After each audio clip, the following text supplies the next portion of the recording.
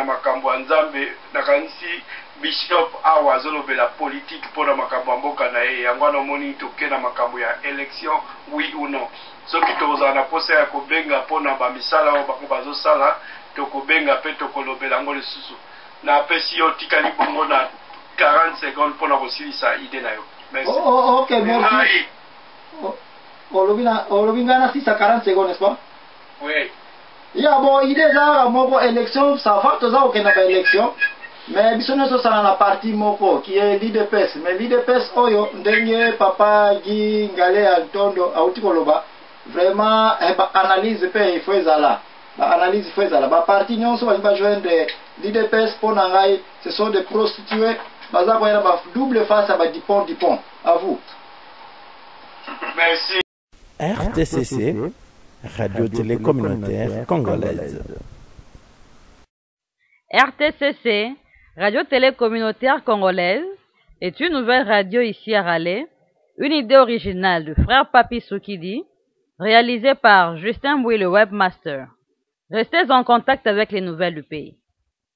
Pour vos pubs, contactez le frère Papy Soukidi au 919 266 9533 ou au 649 2950. RTCC, Radio Esalami na Mwana Mboka, frère Papy Soukidi. RTCC, Radio na bino ya sika na kati ya rale, yango yo ee! Nazo senga bolimbisi mingi na ndeko Shekina Doris Mpongwe na kanisi nazo komeka koyamba yo na ndenge nionso mais ezo katana na lingi te okanisa ete tozo yamba yo te nazo yamba yo mais ozo katana ba ndeko nionso bazo benga nazo yamba bolimbisi ndenge tolobaki radio eza pona batu nionso emission esili te tokoluka ndeko mosusu tokobengisa samedi pona ko continuer na Sujet na biso election oui ou non samedi ekoya lisusu mais nazo kende kopesa mutu moko moko une minute pona kozua parole eh, banda na ngai aloba makanisi na ye ya, ya, ya suka uh, nakokende bongo na ndeko na ngai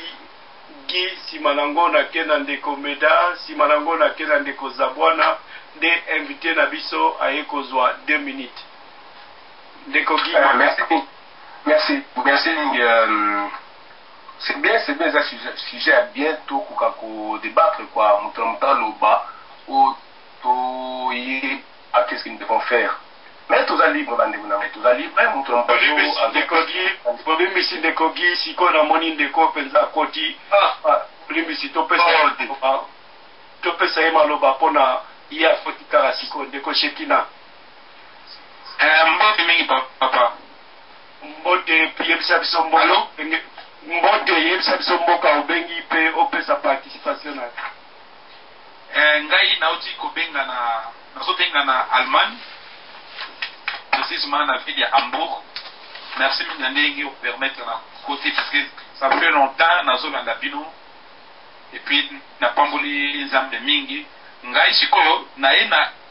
une reflexion par rapport ndenge bolobi election to election te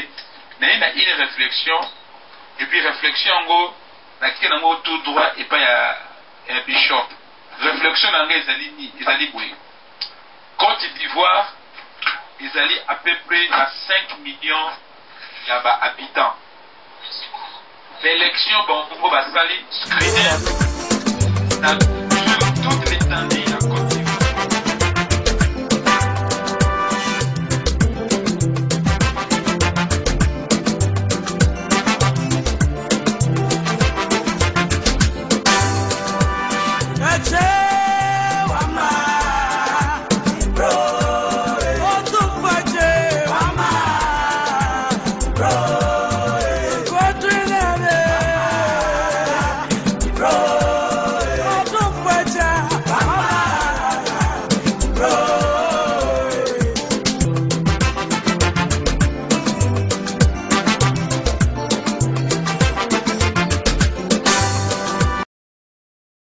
Nga na lingaki na loba kaka na pesi liboso merci na ba ndeko nioso bana mboka vraiment ya Congo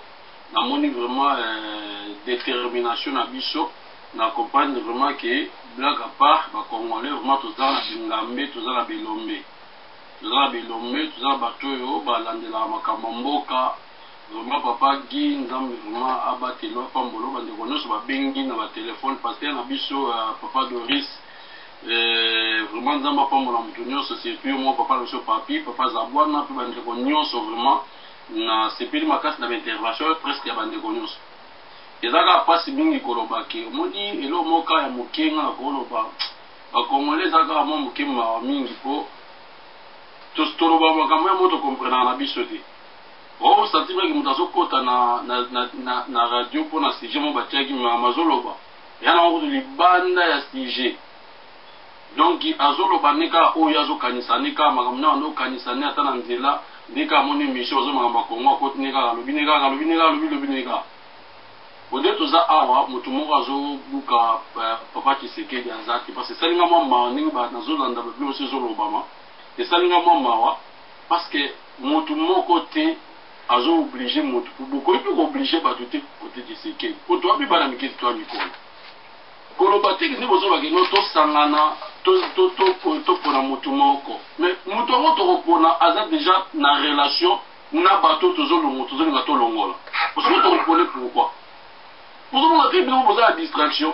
koma bokotinda bato bakesangana na mutu te asalakisi bino face na ye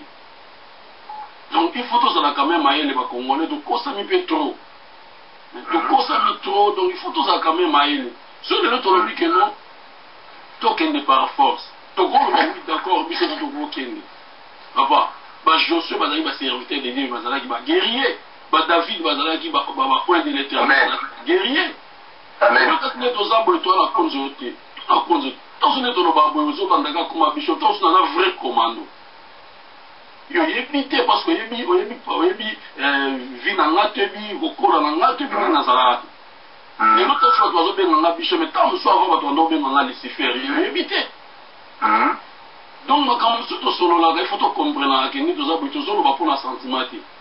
donc peut-être bato mosusu bazoloba bolia babalia bambongo me biso tolie ta ba 1 euro te mais toyota bavi na biso ya danger nde tozoloba boye eza facilité Tomona kaka na CC moto mosusu azosala enregistrement mpe ya makambo ozoloba kaka na telefone mese keye. Donc ntango tozoloba ifo tozala d'accord tozala sire na biloko tozoloba parce que ezo koengage biso moko na bafamille na biso. Donc mpo na ngai mpo na koloba na ngai naloba na ngai naloba non na baelection soki bacongolais tozalaki na conscience ya kobunda lokola tozala conscience ya kobunda te Batu tout soki tozo loba soki toki totia bitumba ebza ya batu ebele bazo l'annonce donc lokola toza na biso capable ya bitumba te yango nga nalobi to meka nanu to loba oui na ba election to tala et soki to moni esimbi te ah batu oyo tozo tinda ba kende tozo solola na bango ti to zwa courage ya kosolola na bango papa yo ozo kende problème eza te mais soki esimbi te Resultat ezali lobi eloko nini ozo pense pona biso po biso tolingi regime wana ekweya voila sikoyo tokoso eloko tokosolola eza yango wana e, ezala totikali na 10 mois ezala totikali na 7 mois ezala bapesi biso 2 ans bo tokanisa te ata bapesi biso 3 ans po ba prepare ba election bokanisa te ke Eko changer, caractère ezala yango moko, corruption ekozala yango moko, makambo tout ekozala yango moko, donc eloko moko eko changer eza te. Alors eloko biso tokoki kosala ba ndeko na nga, toluka bato oyo nanu basimba ata poste moko na Congo te, balia nanu te na ba makambo oyo toyebeli, mais soki tomoni que baza na capacite, baza nga na nga jamais, bazo ko assurer biso eloko.